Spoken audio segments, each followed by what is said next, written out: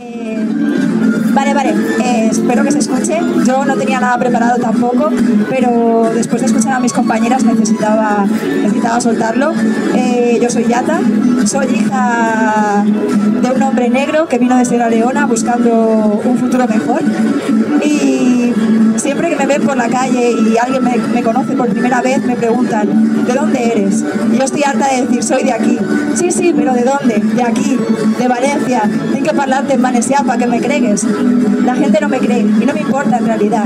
Estoy orgullosa de mis raíces, de mi madre blanca y de mi padre negro, de ser afrodescendiente, de luchar, de dejar de tener miedo, no somos invisibles, que estamos hartas y hartos de que se nos invisibilice, que nos digan que nos tienen que integrar. ¿De qué? No necesitamos que nadie nos integre en nada. Somos capaces, somos luchadoras, somos íntegras, tenemos derechos y no vamos a dejar que nadie nos pise. Así que nada, gracias.